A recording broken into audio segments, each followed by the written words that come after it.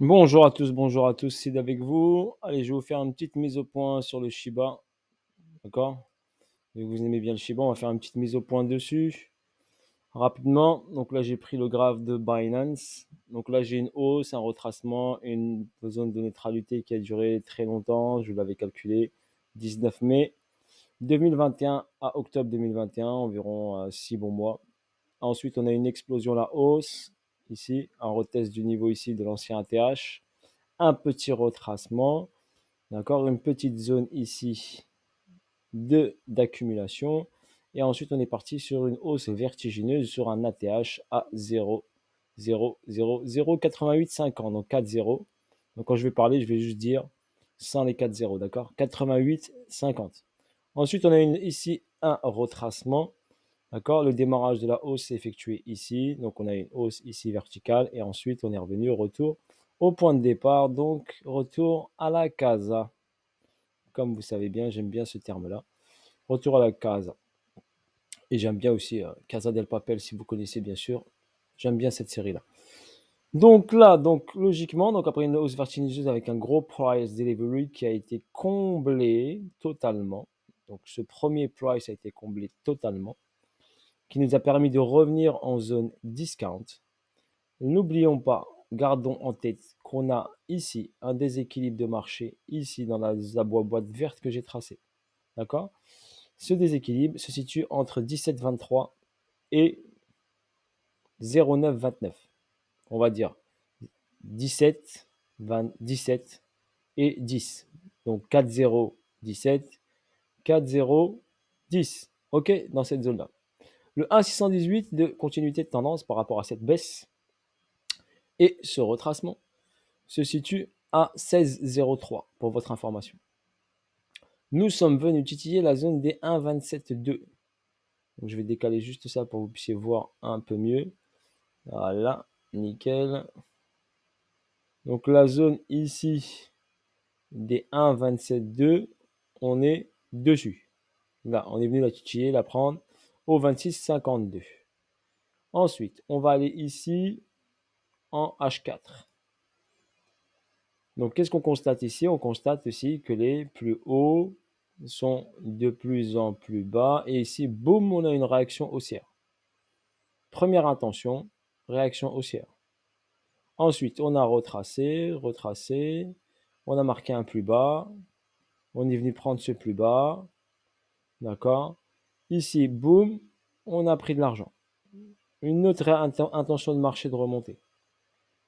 Donc les acheteurs se manifestent, d'accord? Mais le prix n'est pas assez bon pour que le volume soit exponentiel. Regardez ici, les volumes ici sont bas. Donc tant que le volume est bas par rapport, par exemple, à celui-ci et celui-ci, le démarrage ne pourra pas s'effectuer. On va avoir des intentions haussières, mais le démarrage, tant que le volume n'augmente pas et le marché marche avec le volume, d'accord, n'oubliez pas, il faut qu'il y ait du volume pour qu'il y ait une accélération du prix vers le haut.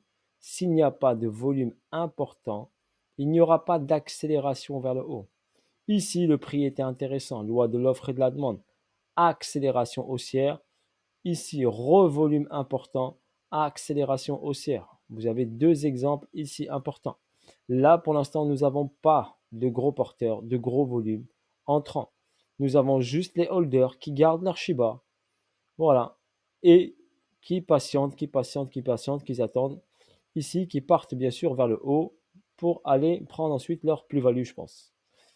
Donc, voilà en ce qui concerne Shiba et on concerne l'explication sur les volumes et sur l'accélération du prix. Nous avons quand même des intentions haussières.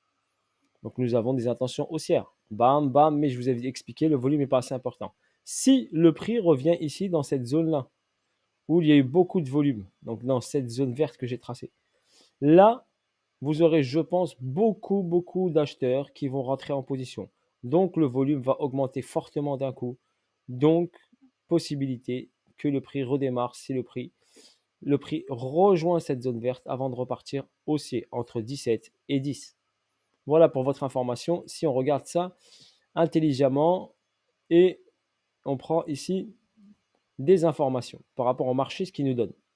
Et également, on a un déséquilibre de marché qu'on doit combler. Donc, s'il y a comblement ici du déséquilibre de marché, plus le 1,618 de retracement, plus la zone super intéressante pour que les acheteurs puissent rentrer fortement. Donc, nous aurons une explosion du prix. D'accord? Donc, pensez à tous ces facteurs qui rentrent en jeu.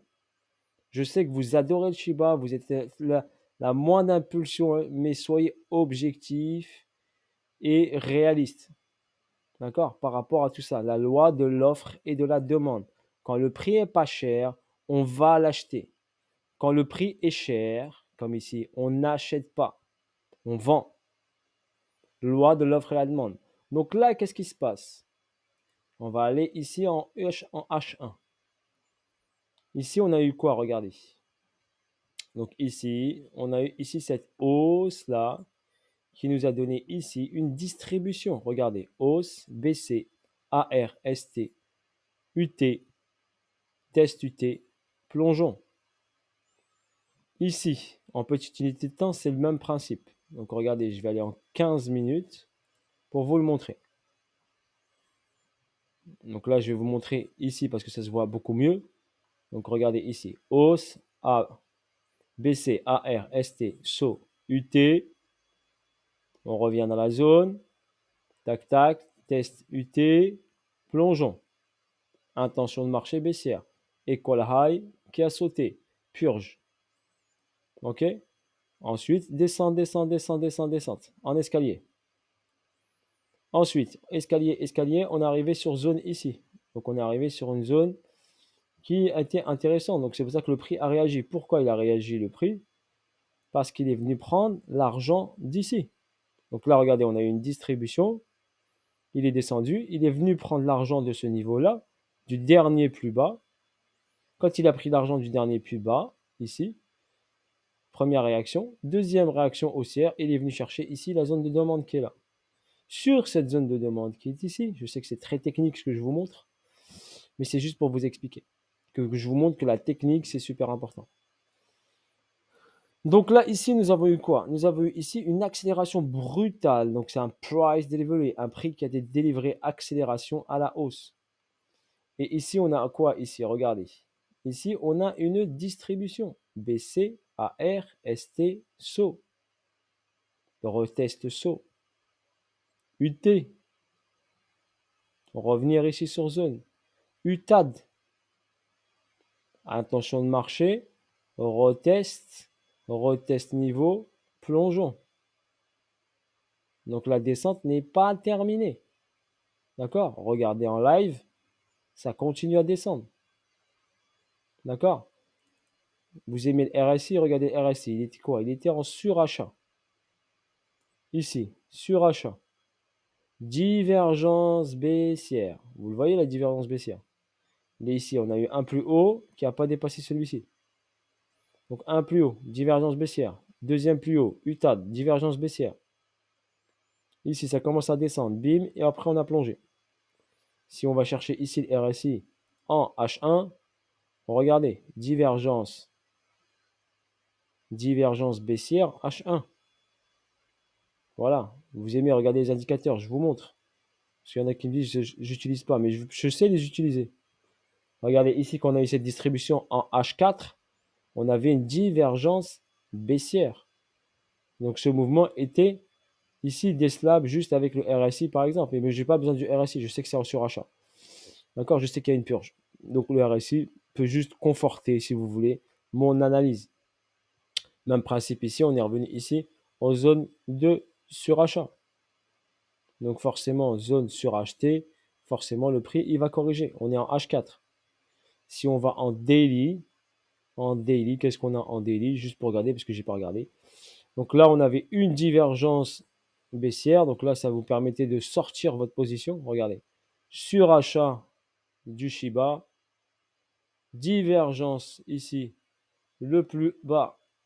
Et ici, le, le prix est de plus en plus haut. Mais ici, le RSI est de plus en plus bas. Donc là, la divergence était parfaite.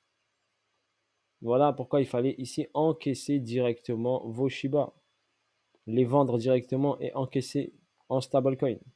Vous aviez double confirmation, divergence, plus analyse. D'accord? Donc, c'est pour ça que le prix est redescendu ici. Donc là, pour qu'il puisse remonter ici, eh ben, il faut qu'il fasse une divergence haussière daily. Mais là, pour l'instant, ce n'est pas le cas. On n'a rien du tout. Donc, pour avoir une divergence bullish, on va dire, bullish, une divergence que vous aimez, c'est bien ce terme, une, une divergence haussière du Shiba, donc on a fait ce plus bas ici, il faut que le Shiba ici descende plus bas que ce niveau, donc que la mèche ici descende plus bas, c'est pour ça que je vous dis, il risque de venir dans la boîte verte, pour marquer ici une descente sans descendre ce plus bas, donc ici ce sera divergence haussière qui nous validera une divergence haussière en délit. Aussi simple que ça. Parce qu'en délit ici, sur les RSI, on n'a rien. Voilà pour ceux qui adorent le RSI. Euh, je vais checker ici la MM, allez, moyenne mobile. Vu qu'on a le temps, on va regarder. Moyenne mobile. Donc regardez, la moyenne mobile, 200 périodes, elle est là. Donc le prix peut venir rebondir dessus, parce que ce n'est pas le cas, il ne l'a jamais fait en délit encore. Donc il peut revenir rebondir dessus, qui est au 23,58 pour repartir vers le haut. Pour l'instant, il est en dessous de la MM50. Si on regarde ici en H, H4, H4, H4, H4, H4, voilà, comme ça je vous fais un point, un point un peu général pour vous expliquer tout ça. En H4, on est venu quoi? On est venu rebondir ici sur la MM200. Il a fait un rebond dessus, il a réagi ici tout de suite vers le bas. Et là, on a la MM50. Il a cassé la MM50, accélération vers la MM200, petit rebond technique dessus. Et là, il va venir, à mon avis, enfoncer tout ça et descendre plus en dessous de la MM50. Pour continuer, ça, ça baisse.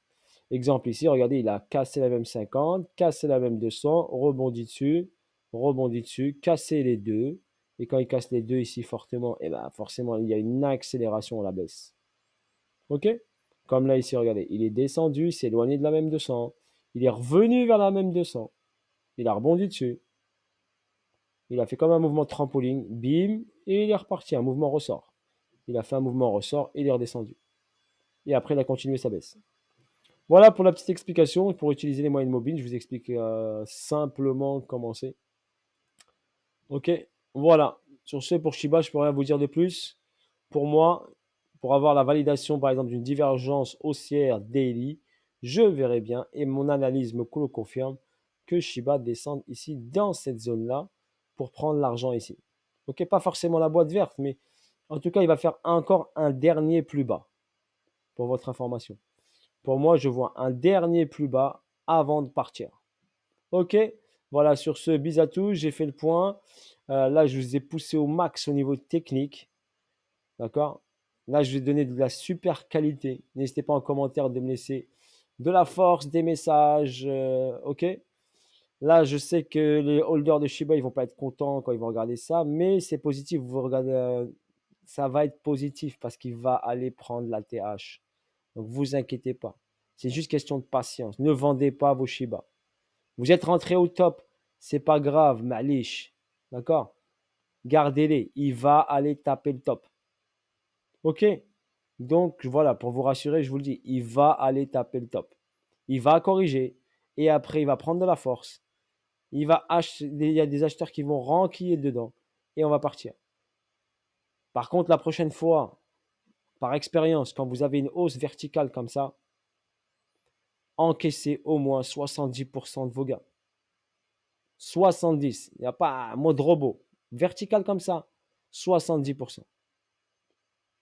Au pire des cas, vous gardez 30 pour aller plus loin. D'accord? Ou moins 50. Allez, si vous êtes euh, fan et vous aimez, au moins 50. Au moins. Parce que les 50 que vous aurez ici sortis, eh bien, vous aurez pu les réutiliser pour rentrer ici avec. Rentrer ici et hop, votre plus-value, elle sera encore deux fois, voire trois fois, voire quatre fois plus. Parce que là, si on va ici, si on regarde ici, regardez, si on va juste ici, allez, allez, le 1,414, je ne vais pas plus loin. 1,414 au 22, 22, 20 et on va là, on fait 300%. Ok? Voilà sur ce, bis à tous et je vous dis à bientôt. Force à vous tous, force la famille. Bis, ciao ciao, bye bye. Allez, sur ce, à bientôt pour de nouvelles aventures.